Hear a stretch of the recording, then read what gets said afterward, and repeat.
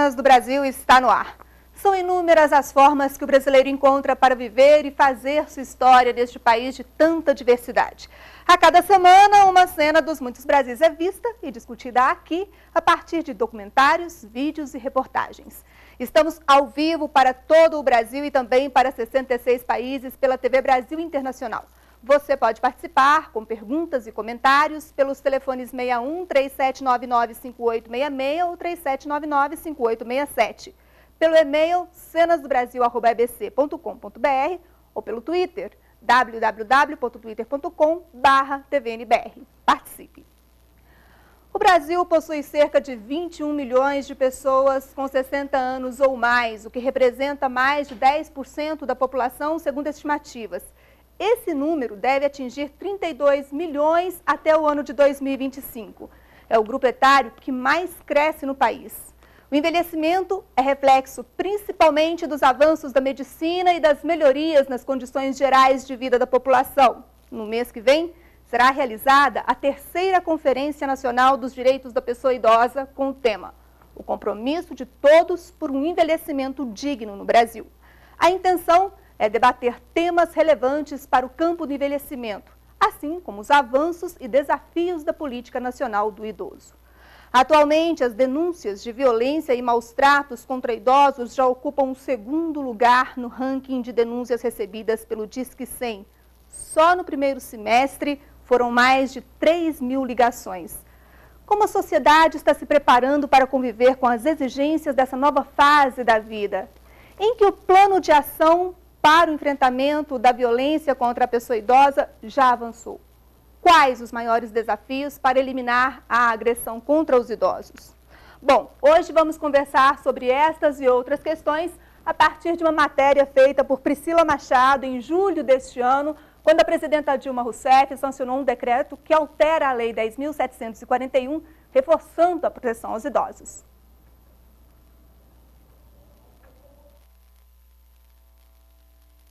A Associação de Idosos de Taguatinga, a aproximadamente 19 quilômetros do centro de Brasília, reúne mulheres de 60 a 90 anos de idade. Aqui elas conversam, costuram e bordam. Dona Terezinha é uma delas. Minha filha me dá toda a liberdade. Isso aqui foi uma benção ter encontrado para trabalhar, viver nessa turma todinha. Eu trabalho com as crianças do CROSS também. São crianças de rua, a gente ensina. Então, eu tenho criança aqui de 11 anos, hoje ela não está, que ela pinta. Então, você, eu me sinto hoje realizada aqui com esse trabalho. Mas nem todos os idosos têm uma vida como a dela. Dona Terezinha conta que uma amiga sofreu maus tratos da família. Eu tenho uma amiga que mora no Recanto e ela sofreu muito, até que tiraram ela. A família tirou ela de lá. Com uma maior expectativa de vida, está aumentando o número de idosos no Brasil. Hoje, são cerca de 20 milhões e em 2050 serão 64 milhões. E o número de idosos vai ser maior do que o de crianças de 0 a 14 anos. Uma pesquisa do Ministério da Saúde mostrou que 3.337 idosos sofreram algum tipo de violência física ou mental em 2010. Campo Grande teve o maior número de casos, 286. Logo em seguida vem Caxias do Sul, com 137 notificações, e Goiânia, com 112 casos. O Disque 100 recebeu no primeiro semestre desse ano 3.049 denúncias. O Rio de Janeiro teve 429 casos, São Paulo 395 e a Bahia registrou 310 casos. O idoso muitas vezes ele não quer fazer a denúncia contra o próprio familiar. Ele não quer fazer a denúncia contra aquela pessoa que cuida dele. Onde ele vive, né? ou vive junto, ou a própria pessoa que é o, o quem pratica a violência contra essa pessoa idosa, reside com o idoso. Tá? Então, o próprio idoso tem medo, muitas vezes quer proteger.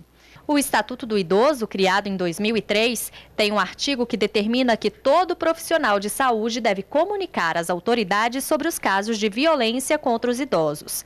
Mas agora, uma alteração em um dos artigos especifica que também as instituições privadas de saúde devem fazer essa comunicação. Qualquer profissional que atenda no seu consultório particular também faça essa notificação. Ele precisa também receber essa orientação.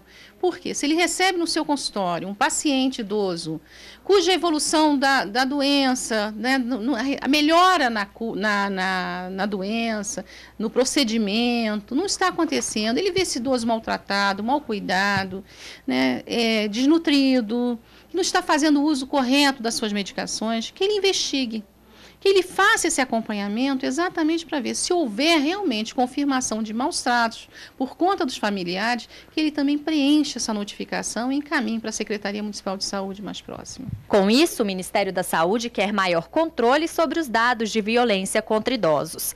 A meta é garantir que todos tenham uma velhice feliz, como a de Dona Aerolina, de 90 anos. Se você ficar dentro de casa só em televisão sem fazer nada, não é feliz. Eu não, eu saio, passeio, costuro, brinco, converso e faço tudo. Bom, são nossos convidados para o debate de hoje, Nadine Borges, que é secretária nacional de promoção de direitos humanos da Secretaria de Direitos Humanos da Presidência da República, e Frederico Flósculo, que é coordenador do Núcleo de Estudos e Pesquisas da Terceira Idade da Universidade de Brasília. Bom, muito obrigada pela participação de vocês conosco aqui no Cenas do Brasil.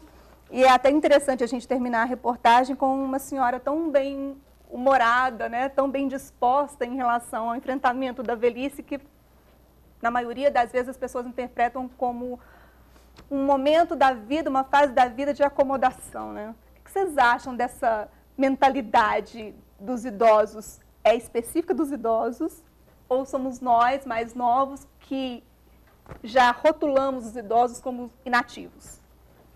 Bom, a velhice tem sua história, né? Você tem, é, é, é, uma, é uma metáfora também para a história de vida das pessoas, porque é, nos dias de hoje, né, no, no, início do século XXI, já não se envelhece como se envelhecia no próprio século XX e antes disso. Então nós temos aí uma, uma, um novo idoso com uma nova perspectiva de vida, só que com uma sociedade que ainda conserva é, estereótipos, e alguns esquemas extremamente é, nefastos para a qualidade de vida de boa parte desses idosos. Por exemplo, a questão da ocorrência de violência contra o idoso mostra a, a vulnerabilidade de pessoas que, como todos nós chegaremos né, a uma idade avançada, com alguma fragilidade. Então, no seio de, de muitas famílias e de muitas comunidades, os idosos, na nossa sociedade brasileira atual, na nossa sociedade brasileira industrializada, paradoxalmente, eles podem se ver ainda mais sós. Então, há vários fenômenos a se considerar, como a nova família, né? a emergência de famílias nucleares, de muitas pessoas vivendo sós, vidas solitárias, ainda na maturidade, ainda, ainda jovens, e isso acaba se refletindo numa terceira idade que a gente busca colocar num contexto de comunidade, num contexto de ajuda social. Então, há uma história atrás dessa, desse momento que a gente atravessa.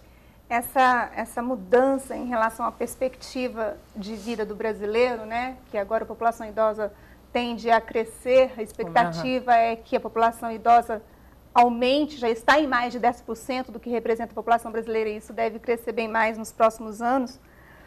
Mas é interessante que eu peguei um comentário que você fez há um tempo atrás, que você disse o seguinte, que o respeito ao idoso deve ser uma cultura nacional.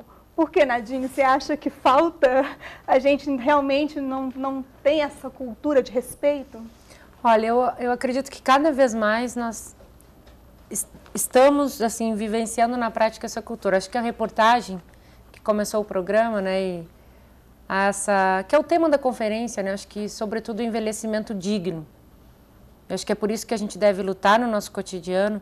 E quando tem que ser uma cultura nacional, tem que ser porque o Brasil, na medida que o nosso país avança nas políticas sociais, que as pessoas elas têm acesso às vezes às coisas mais básicas, isso se reflete também numa melhoria da qualidade de vida e no aumento de vida. E esse aumento de vida, ele tem que ser digno, entendeu? Como o, o, professor Frederico falou, a gente tem que pensar que há uma, hoje uma geração que precisa ser respeitada, se, sempre precisou, mas cada vez mais. E é uma cultura nacional porque as nossas crianças, os nossos jovens, os adolescentes, precisam aprender a respeitar mais as pessoas idosas e não vê-los, como você mesmo mencionou anteriormente, Lúcia, como inativos. Pelo contrário, né? Porque foi essa geração que hoje atingiu a melhor idade, né? Como a gente fala, foi essa geração que construiu o Brasil atual.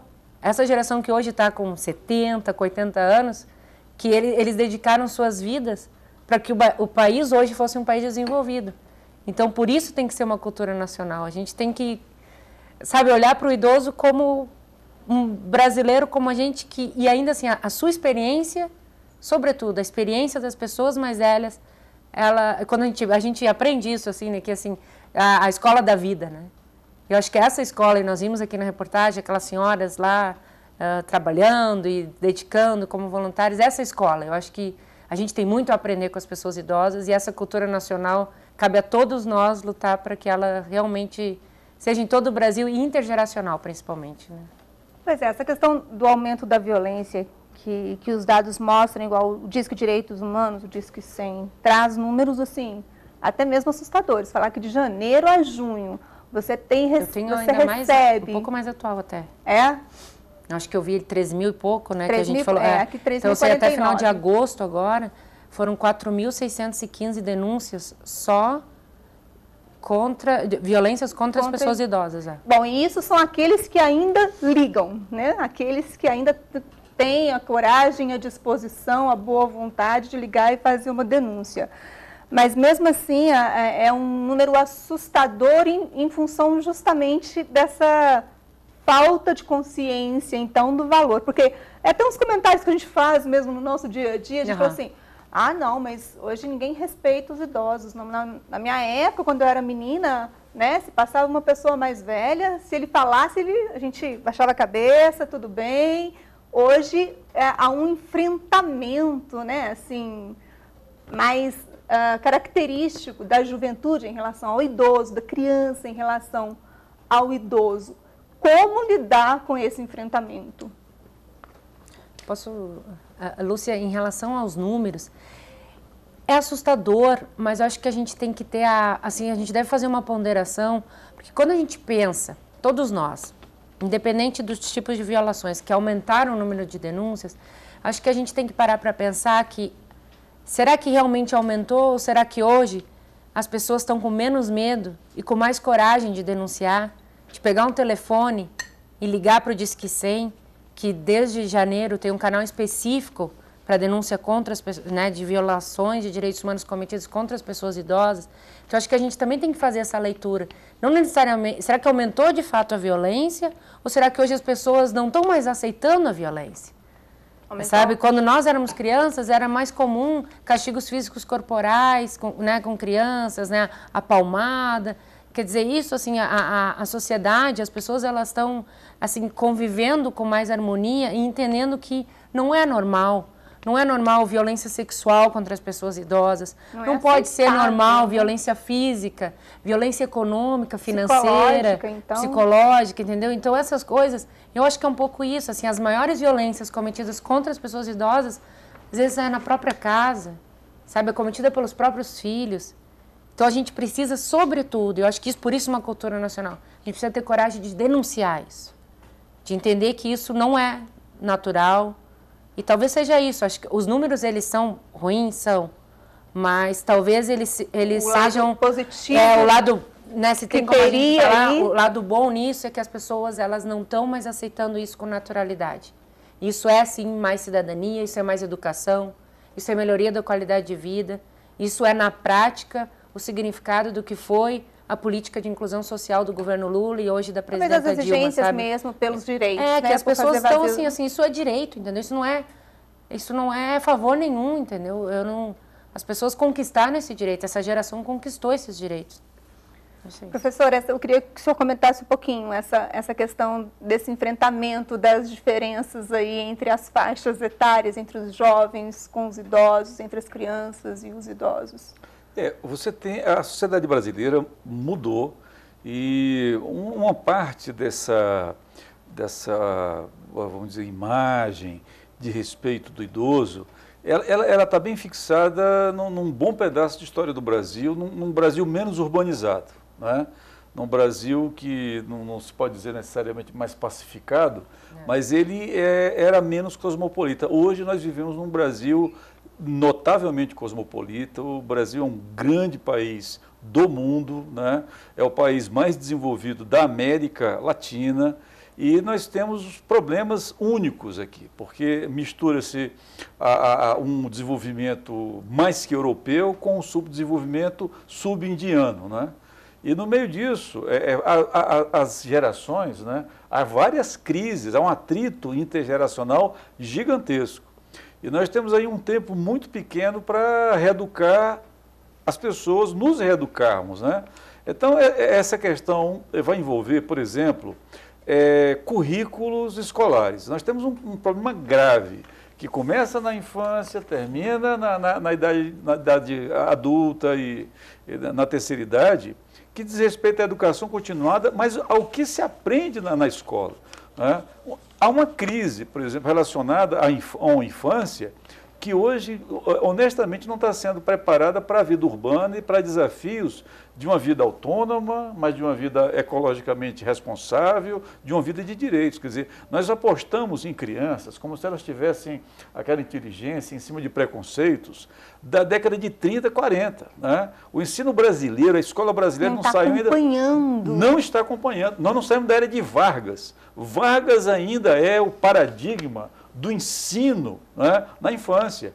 Então, nós não temos escolas é, que, desde cedo, coloquem a criança em contato com a tarefa do preparo do alimento, com a, a tarefa da cidadania, a tarefa da limpeza das ruas.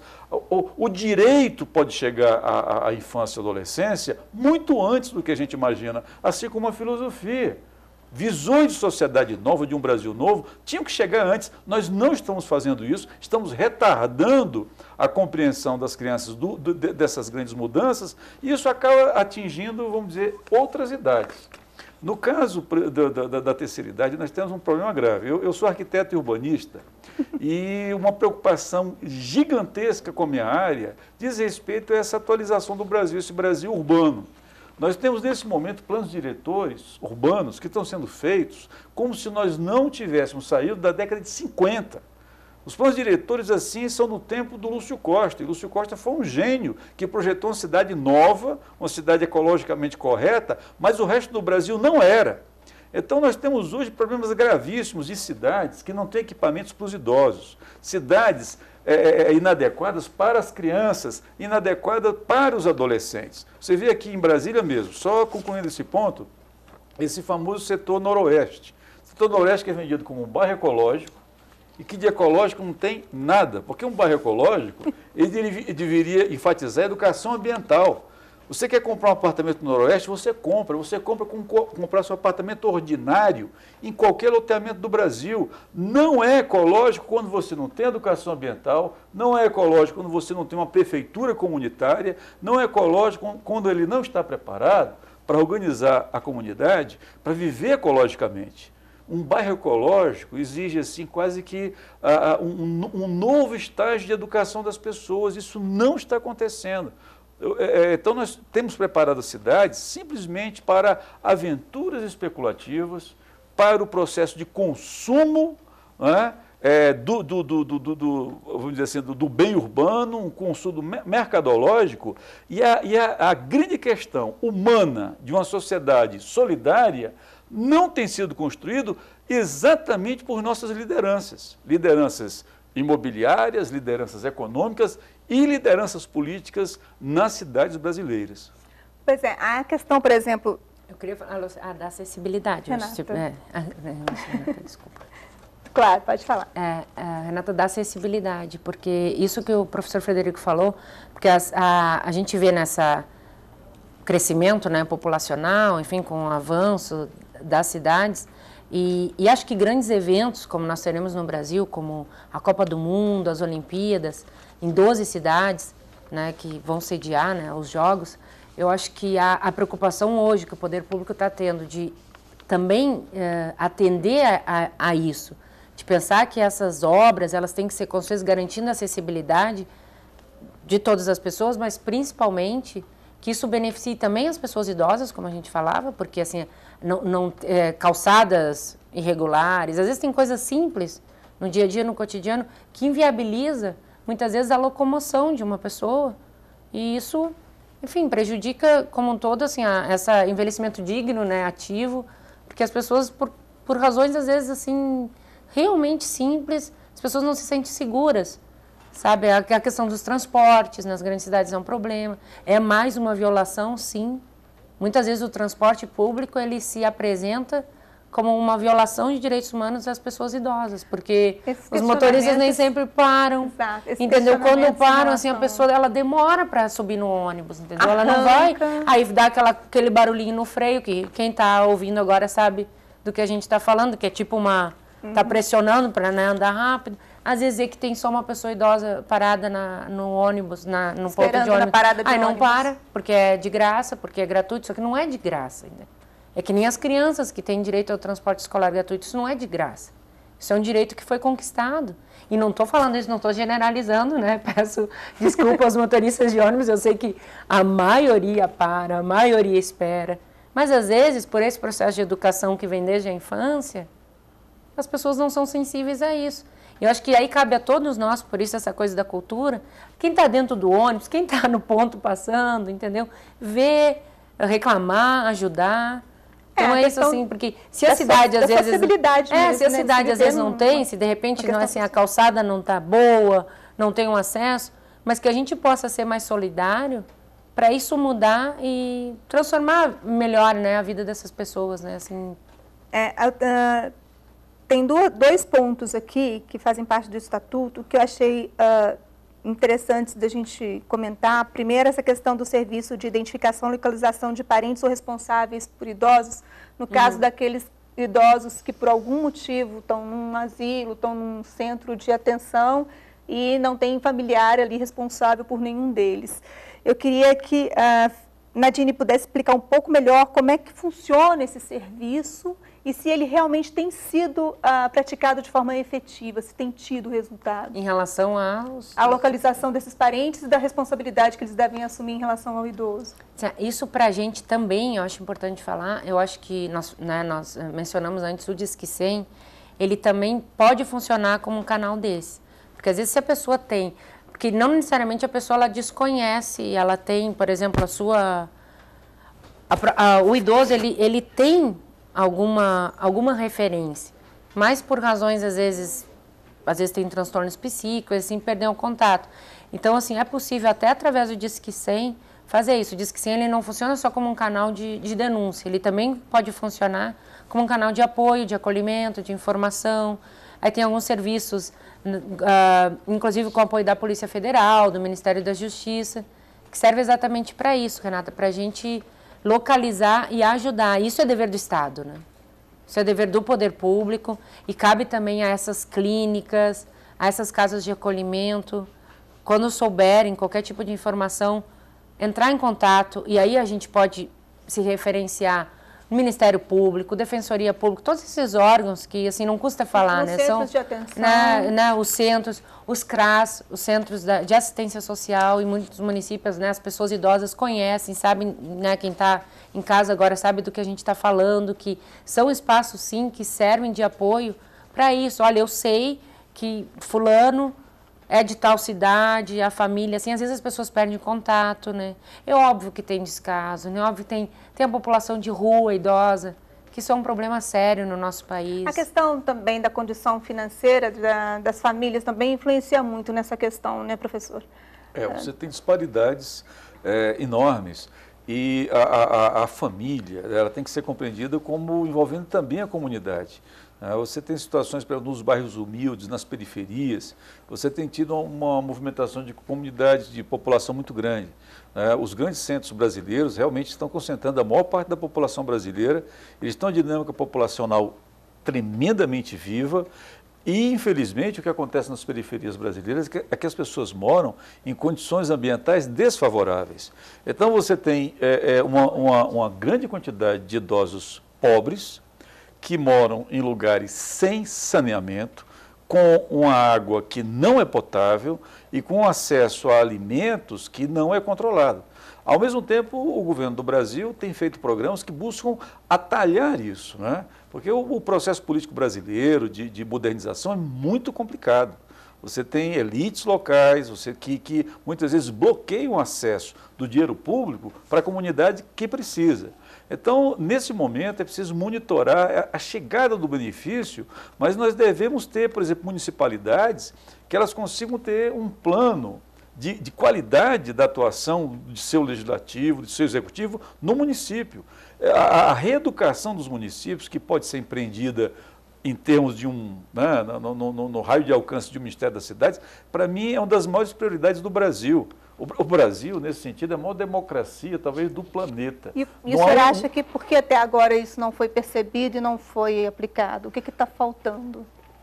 É, você tem várias quebras né, nesse processo político. Né? Um, uma coisa assim, muito simples que eu posso colocar é um certo formalismo na democracia brasileira. Né? A, a democracia brasileira, em termos de princípios, é extraordinária.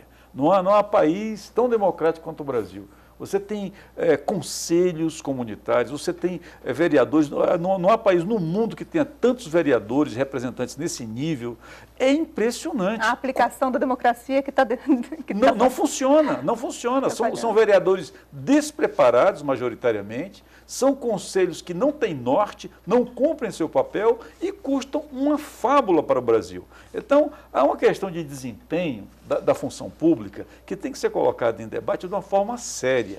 Assim como nós é, devemos exigir é, dos governos municipais desempenhos no uso de cada real, de cada centavo que chega às crianças, que chega às populações vulneráveis, que chega aos idosos com qualidade, nós devemos também apoiar é, os movimentos de comunidade que levem à defesa do idoso, como a gente colocou no começo da conversa. Né?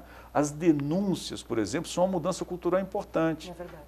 É? O fato de haver denúncia não, não faz exatamente parte da cultura brasileira denunciar ninguém. Nadine, é até interessante essa colocação do professor, porque isso pode ser até um dos temas de debate da conferência, justamente é, eu estava pensando nisso, Renata. Assim, assunto, que a, né? a gente tem hoje já, a, a, nossa conferência vai ser em novembro, né? De 23, 24, é, 23, 24 e 25. Então, assim, imagine, só no processo da Conferência Nacional serão quase 700 delegados do país inteiro, que ainda algumas conferências, eu tive agora, por exemplo, segunda-feira, eu tive João Pessoa participando da Conferência Estadual do Idoso lá em João Pessoa, na Paraíba, e o que, que significa isso? Quer dizer, a gente vai ter aqui em Brasília 700 delegados tirados nessas conferências municipais e estaduais, quer dizer, pessoas que lá na ponta, lá como o professor Federico falou, lá na sua cidade, ciente da necessidade de lutar por isso, por mais direitos, e pessoas assim, na faixa etária, sabe, pessoas idosas, lá em João Pessoa mesmo, pessoas que uh, viajaram 500 quilômetros, e, e a, 600, 800 muitas vezes em alguns estados, mas a questão não é a distância não é distância geográfica, é que para eles essa luta ela não tem distância. Entendeu? Eles vão vir aqui em Brasília e vão lutar pelos direitos porque é intergeracional, porque eles querem sim. E isso, isso, isso é, é bacana a gente pensar assim que isso está crescendo. Então, essa coisa, essa conquista da democracia na prática, realizar uma conferência nacional, e aqui nós vamos ser cobrados, sim, o governo federal será cobrado por mais ações, mas também é a forma da gente saber de fato quem está lá no município, lá no estado, o que precisa. Porque os, as, os melhores porta-voz, né? o melhor porta-voz da sua necessidade é o próprio idoso. É isso. É, né? relação... A voz de quem sofre a, a violência, de quem sofre e que não se cala e que denuncia. E que mesmo que aquele delegado que esteja aqui em Brasília não seja ele, mas ele sabe o, seu, o que os seus, os seus amigos, né? O que a é, sua geração vive, é. o que no seu bairro tem de problema, o que às vezes na casa que ele está, no abrigo, às vezes, assim, o distrato, o, a, o maltrato, eu diria, né? Muitas vezes esses maus tratos que a própria família comete, entendeu? Que ele possa aqui em Brasília, nessa conferência nacional, também falar sobre isso. E que vai ser, claro, não vai ser um momento de falar só de coisas ruins, né? Mas também de coisas boas, propositivas, de convivência, de conhecer, saber que o problema que ele vive é um problema que o outro também vive, e aí como pensar numa solução conjunto, né? Porque isso é até interessante, porque pela disparidade do próprio país, pela dimensão do país, pela diversidade que a gente tem em todos os sentidos regionais, de desenvolvimento uhum. social, econômico, é interessante que, claro, tem idosos de, do sul e do norte que podem estar passando por situações de violências comuns, mas há também situações muito específicas né, dessas regiões, em função da própria condição de cada região. Né? Exatamente. Não, essa, essa, conferência será memorável. Realmente ela é muito importante. Ela, ela desfecha um trabalho, o amadurecimento do trabalho que o governo federal tem feito, que, sem dúvida nenhuma, é muito sério. É, o, o, papel do governo federal, que é, devemos realçar, quer dizer, ele é fundamental para fazer com que o Brasil tenha sentido, ele dá coerência ao Brasil. Agora, há um trabalho eterno do governo federal que é redistribuir competência, redistribuir informação. Há um papel do governo federal que é o de inteligência do Brasil. Ou o governo federal assume, e isso varia, né, de governo a governo, e às vezes no mesmo governo a inteligência tem baixos e altos. Isso tem que chegar nos municípios. O que, é que significa isso? As boas experiências. Os municípios brasileiros aprendem rápido, a população aprende rápido. Há, municípios que são totalmente, é, vamos dizer assim, inacessados pela inteligência federal em termos da informação nós subestimamos os nossos municípios. Então, há um trabalho extraordinário a ser feito, no sentido, vamos dizer, é como se fosse uma reengenharia do Brasil. É verdade. Uma reengenharia do Brasil, uma reengenharia municipal, porque há muita competência na esfera federal. A esfera federal, toda vida que sai em cena para agir no nível local, faz um espetáculo de trabalho, faz de verdade. Agora, isso não é continuado. É uma coisa. Importante. Preciso, preciso. É. Importante é justamente dar andamento a essa, a essa ação. Ser perene. Bom, a gente terminou o último bloco justamente é, reforçando, e a Nadine queria complementar a questão do professor. Nadine, por favor. Não, no, é, né, o professor falava da, assim, que às vezes as ações do governo federal, de fato, principalmente assim no interior do Brasil, a gente percebe, né, eu participei de algumas conferências estaduais, uh, representando né, a Secretaria de Direitos Humanos, a ministra Maria do Rosário também, uh, ela, inclusive ela teve na abertura, né, na, no lançamento da conferência em Belém do Pará, e aí nessas, uh, a gente conversa muito, enfim, a ministra fala muito isso, a gente ainda tem, mesmo com as ações do governo federal, tem muitos municípios, por exemplo, que não, não tem, por exemplo, uma secretaria municipal do idoso. Muitos municípios não têm o conselho municipal do idoso, o fundo municipal, o fundo, o fundo nacional do idoso é uma, é, foi criado em 2010.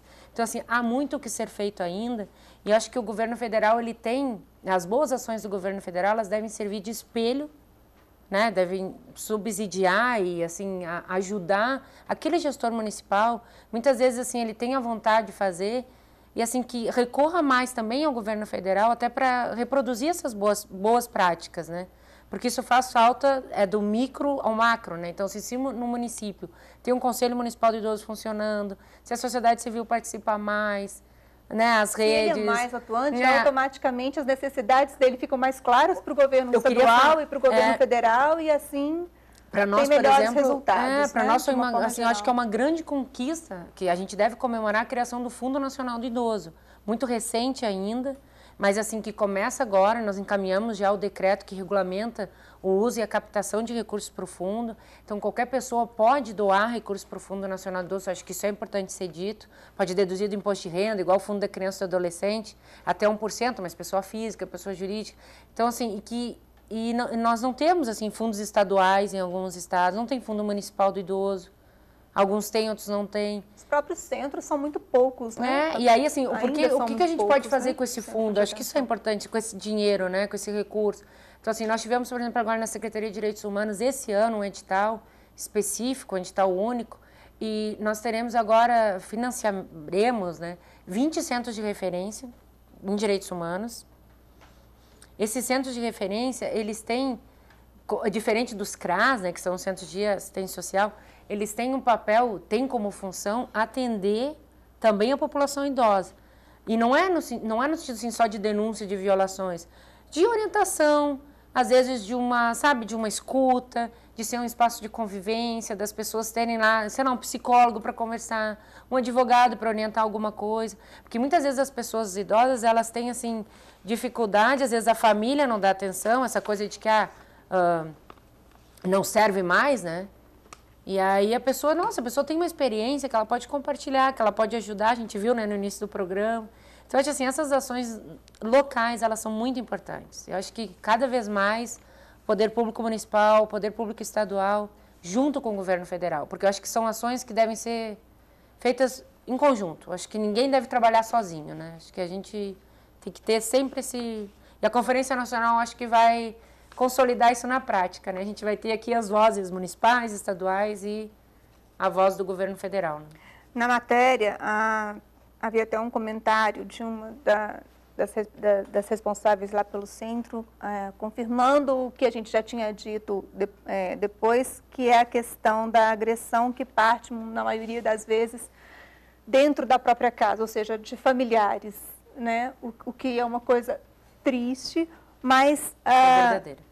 Triste e verdadeira, mas que também ah, acaba por deixar de lado ou de, às vezes, chamar a atenção também para um outro aspecto, que é a questão das entidades ou das, ou dos, das instituições que cuidam dos idosos, da responsabilidade dessas instituições, a partir do momento que elas atuam dessa forma, delas seguirem e respeitarem né, o, o estatuto, a, a cobrança do decreto em relação a essa maior responsabilidade dessas instituições foi uma boa iniciativa, veio muito tarde, demorou demais, está em tempo ainda. O que o senhor acha, professor? É, o, o, Estatuto do Idoso tem que ser analisado assim, item a item, é porque ele realmente gera uma série de políticas. Né? E esse, esse plexo de políticas é, ele é muito rico. Né? É, nós podemos ter, por exemplo, dentro dos municípios, é, um, algo que seria o, o, o palco de, execução de políticas como essa, que colocam a comunidade fazendo esse grande conserto de qualidade de vida do idoso. Você veja uma coisa que, é, é, no caso de Brasília, nós temos passado a fazer uma advocacia de bibliotecas públicas de verdade em Brasília. Brasília é uma cidade que atingiu, nesses 50 e poucos anos de vida, 2 milhões e 600 mil habitantes, e o número de bibliotecas, o número de livros públicos por habitante é muito pequeno. Né? Nós temos aí menos de um livro público por, por habitante. Quando o ideal é nós atingirmos 8, 9, 10 livros públicos. Essa é uma média de um país desenvolvido. Uhum. Então, imagina o espetáculo que há no bairro, que há na pequena cidade, de uma biblioteca pública que seja é, gerenciada pela comunidade, naquelas comunidades que têm a, a, felicidade de ter bibliotecário, sim, mas também de você ter pessoas de iniciativa que possam fazer a gestão da biblioteca. Os idosos, eles fecham essa equação. A gente coloca os idosos no polo, polo, passivo das políticas, mas eles são ativos. É quando você pode colocar idosos como gerentes de programas sociais. Então, é, é, talvez seja um pouco utópico falar isso, mas você tem dentro da sociedade, não só brasileira, da sociedade humana, vários arcos sagrados. Um dos arcos sagrados é aqueles que nas famílias as pessoas dizem assim, né, que há uma aliança secreta entre avós e netos. Né? Todo pai conhece essa santa traição, não é? É, é, é, meu pai tem uma amizade com meu filho que eu, eu olho, eu não, não sei, é morre de ciúme. Pai né? é para educar, avô é para bajular. Para bajular. Né? Mas isso acontece dentro da sociedade também. Quer dizer, há algum, a, o nosso repertório de ação social ele tem que ser melhorado. Ele, ele não, a ação social não pode ser feita só de uma forma burocrática, por canais, vamos dizer assim, estabilizados nas repartições. Eles têm que ser melhorados através da inclusão de um terceiro setor fortalecido, informado, de uma sociedade civil informada. E esses exemplos têm que ser divulgados, porque você tem muitas pequenas cidades onde a população realmente fica na passiva. Ela fica, é, é, ela, ela, ela é acuada contra o poder de grandes proprietários, o poder de políticos, o poder dos poderosos que não abrem mão disso. Como é que a gente equaciona isso? Isso tem que haver, tem, temos que ter o debate público tem que desse município. Exatamente. O governo tem inteligência para isso. Ele sabe onde é que está acontecendo essa situação desse Brasil, é, é, é, vamos dizer assim, desses bolsões de miséria, de miséria intelectual, de miséria social. Nós temos que quebrar esses ciclos e criar e fortalecer os ciclos virtuosos nas cidades que podem ter políticas onde os idosos se sintam empoderados e possam ser gerentes de, de, de é, instituições públicas, eh, que é o sonho de Brasília. Nós temos bibliotecas públicas é. onde os idosos são os bibliotecários. É os idosos legal, né? que se alfabetizam nas bibliotecas públicas, mas também que animam né, a, a terceira idade como um instante de transmissão de conhecimento. Quer dizer, isso é muita viagem? Não, nós temos idosos que topam fazer isso. Precisamos das bibliotecas e precisamos de programas sociais mais intensos, em que você tem essas pequenas revoluções de, de costumes. Né? Bom, eu tenho aqui uma série de perguntas e eu vou começar com uma pergunta do José Eduardo, do Rio de Janeiro. O que os convidados podem falar sobre a criação de cursos de formação de cuidadosos, de cuidadores, cuidadores de idosos formais e informais? Acho que deveria ser incentivada e multiplicada, já que a atenção domiciliar é a resposta a alternativas necessidades especiais dos idosos com doenças crônicas, por exemplo. Quer dizer, ele mesmo já deu a opinião dele, mas ele quer que vocês comentem de uma forma mais sucinta, se possível, porque a gente precisa de responder ainda todas as outras perguntas. Nadine. Não, então assim, eu, José Eduardo, né? Isso. Então agradeço a pergunta e assim, há uma preocupação hoje, queria compartilhar isso, da Secretaria de Direitos Humanos, da Presidência da República, né, da Presidenta Dilma, da Ministra também, que é justamente a ideia de, de regulamentar, né, e, a, e que os cuidadores, que isso seja uma profissão, Assim como nós temos, né, nós temos o enfermeiro, o médico, o dentista, o professor, e que as pessoas possam dizer assim, ah, eu sou cuidador, eu sou cuidadora, entendeu? Isso, assim, tanto no nível médio, nível universitário, entendeu? Numa parceria, e a gente está trabalhando para isso, com o Ministério da Educação, para que realmente se faça que isso, como ele falou, assim, entendeu? Que isso, e essas pessoas recebam formação para isso e que isso seja visto pela sociedade como uma profissão indispensável, porque, assim, não é, é tem que ser regulamentado, tem que ser, ter apoio, essas pessoas precisam de formação para ajudar de fato, né? E não é o que o enfermeiro faz, não é o que o médico faz, é diferente. Né? É... Ele tem uma preparação é, diferenciada não só para cuidar da questão da necessidade da saúde. É, não é só físico, Física, né? Não é né? saber, não é dar o remédio, porque isso não é o cuidador, entendeu? Para isso tem um enfermeiro, para isso. Mas assim, é, é, é, é aquele é apoio. relação. Sabe, é um né? apoio, porque assim, e, e, assim, e a gente, e a gente deve isso. A gente, assim, o Brasil deve isso à população idosa. Nós devemos, né?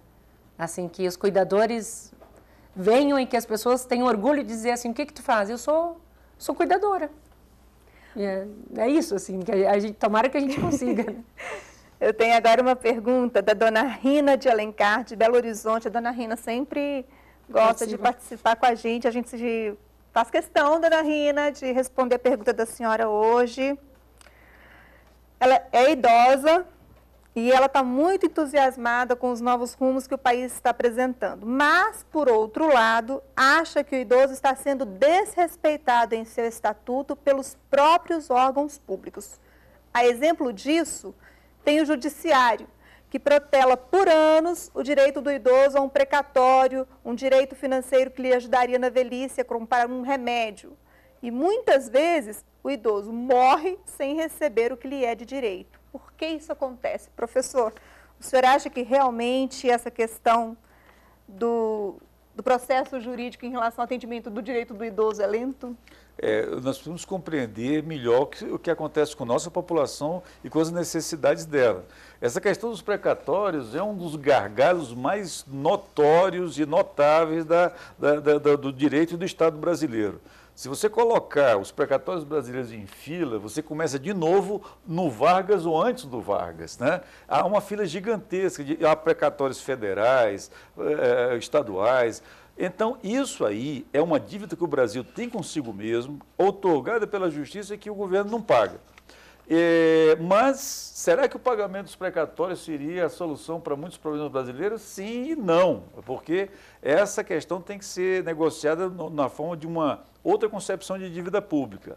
É, na verdade, nós devemos ter uma compreensão da, das necessidades do, do, do, dessa nova geração de idosos que veio para ficar e veio para reconstituir o Brasil em termos do redesenho de sistemas de saúde, de sistemas de educação, de sistema de segurança pública e do, do lazer brasileiro, da cultura brasileira. Por exemplo, essa questão dos cuidadores é uma possibilidade de começar um redesenho de um dos sistemas mais blindados e bloqueados, que é o sistema de saúde. É. O sistema de saúde brasileiro é caríssimo, é caríssimo, é muito ineficaz, ele é muito concentrado e é baseado numa estrutura de profissões muito antiga.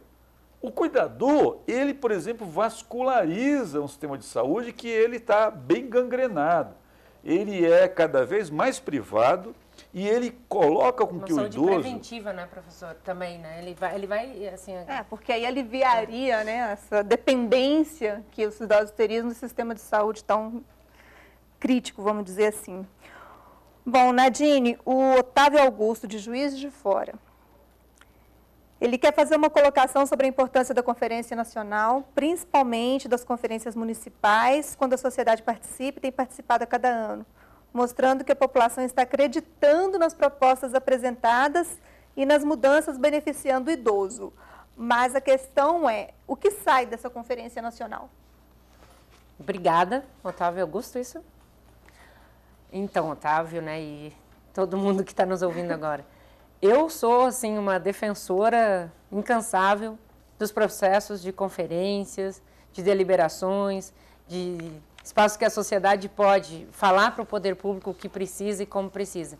E graças às duas outras conferências do idoso, eu acho que a gente tem que comemorar isso, nós vamos para a terceira conferência nacional, muito do que foi feito em relação à política nacional do idoso no nosso país, o plano de enfrentamento à violência, essa, essa questão, por exemplo, da gente ter um canal específico no Disque 100 para as denúncias, a criação dos centros de referências, a alteração no Estatuto do Idoso, que hoje diz a notificação compulsória de qualquer ato cometido contra as pessoas idosas, né, que a, tem obrigação, enfim, de notificar isso, que a presidenta Dilma sancionou, junto com, é, sancionou agora em julho, junto com a ministra Maria do Rosário. Então, essas coisas mostram assim, que esses processos de conferência eles são válidos sim. É óbvio que o Estado tem sua obrigação constitucional e tem que fazer a política. Mas cabe à sociedade pressionar esse Estado, pressionar o governo, e essa pressão, essa que não, não é uma pressão ruim, ela não é negativa, né? Ela é boa porque, assim, a partir do que a sociedade pede também, e exige, porque é direito da sociedade exigir, que o Estado deve realizar suas políticas públicas. Então, as conferências são, assim, para mim, é assim, é, e uma conferência como essa que nós teremos aqui em Brasília no mês que vem, eu acho que ela simboliza isso, assim, de que, de fato, as políticas públicas são norteadas pelo que a sociedade decide numa democracia. E eu acho e que isso a gente tem que... E, assim, muito do que já foi feito, foi feito graças a esse processo, e muito do que ainda deve ser feito será feito a partir do que for deliberado na Conferência Nacional. Bom, professor, Ana Paula Lima, de Porto Alegre. Na verdade, é um comentário e ela diz o seguinte: o idoso que é dependente, um idoso mais fragilizado, constitui o maior grupo de marginalizado e excluído no universo da terceira idade. Isso é uma verdade, mas o que, que o governo e a sociedade estão fazendo para mudar essa condição? Bom, o senhor disse o que muito precisa ainda ser feito.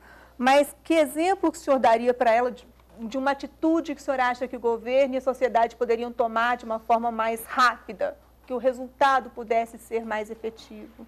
Olha, num, num plano assim de organização social é, nas cidades, de organização urbana, né, nós podemos realmente pensar em cidades que elas sirvam mais as pessoas. Você vê um, um, um caso, se nós é, é, refletirmos sobre o que aconteceu em Brasília nos 21 anos de autonomia política, é impressionante como o governo de Brasília investiu pouco nas pessoas e muito em infraestrutura urbana, e muito na infraestrutura econômica e de crescimento da, da, da, da capital federal de uma maneira desequilibrada.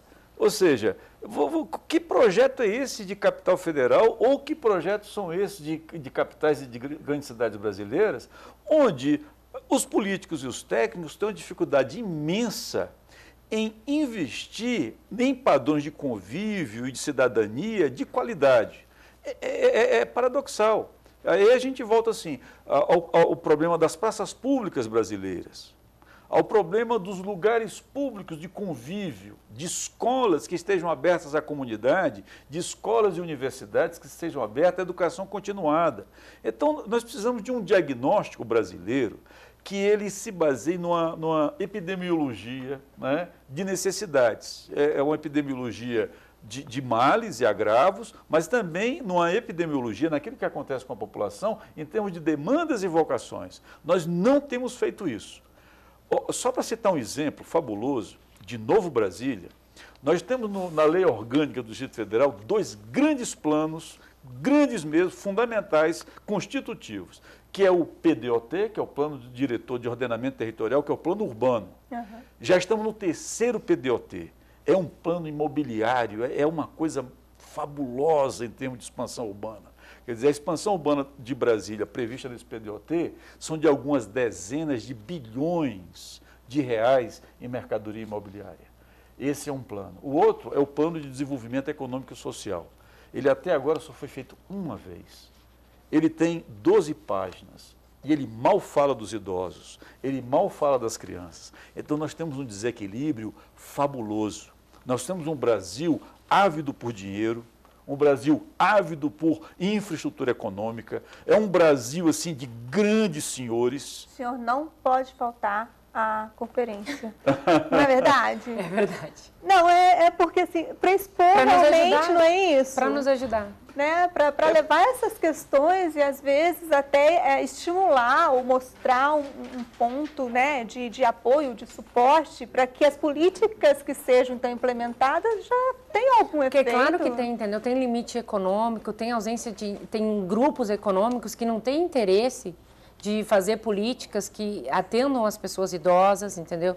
As dificuldades que as pessoas têm muitas vezes assim de, de um programa de financiamento para moradia, de um empréstimo no banco, assim, qual é o interesse de ter uma linha de crédito específica para uma pessoa idosa que de repente ela de fato ela né, não, não, não, não tem uma estimativa de lucro. Então essas coisas a gente não pode esquecer que essa, esses obstáculos criados para uma geração idosa, no, no, não só no nosso país, mas no mundo capitalista, uhum. né? elas têm um porquê, porque há interesses econômicos por trás, sim, que inviabilizam muitas vezes essas ações, né, essas conquistas. Então, para isso, acho que o governo federal, e acho que a presidenta Dilma está muito atenta a isso, acho que o programa Minha Casa Minha Vida significa isso, né, o, o, o Plano Brasil Sem Miséria é para isso, é porque para as pessoas não fiquem afastadas das políticas públicas por causa da sua condição econômica. E eu acho que erradicar a miséria passa também por garantir um envelhecimento digno, porque as pessoas mais pobres são aquelas pessoas que Dá envelhecem mais doentes, que não têm acesso, que não conseguem uma, né, não alimentação tem saudável. uma alimentação, um posto de saúde, que não tem dinheiro para comprar o remédio. Enfim, então, assim, é, um, é, né, é uma bola de neve, mas Acho que o Brasil ele avança para, de fato, erradicar a pobreza. Eu acho que nós vamos envelhecer mais dignamente se a gente conseguir erradicar a miséria no nosso país. Bom, gente, nosso tempo está terminando, mas eu tenho uma última pergunta que eu queria fazer. E aí eu gostaria que vocês respondessem rapidinho, porque depois a gente só tem um minuto para cada um para as considerações finais. Seguinte, presidente nacional da Associação dos Usuários de Transportes Coletivos do âmbito nacional, senhor Valdir Cardoso, de Niterói, no Rio de Janeiro coloca o seguinte: ele vê vários casos de desrespeito em relação ao transporte público. Exemplo disso é a frota reduzida para a população idosa e a cobrança indevida de vagas. Imagino que ele queria dizer que há poucas vagas, as vagas são insuficientes. Flanelinhas da prefeitura cobram para pessoas que não são idosas usarem a vaga do idoso. Nossa. Então, quer dizer assim, na verdade, ele está colocando situações que ele vivencia ou que ele tem conhecimento. E aí eu gostaria que rapidinho comentassem sobre essa questão desses desrespeitos. Professor. Bom, é, a gestão de, de, sistemas públicos de transporte é, é, é um problema sério no, no, Brasil. É?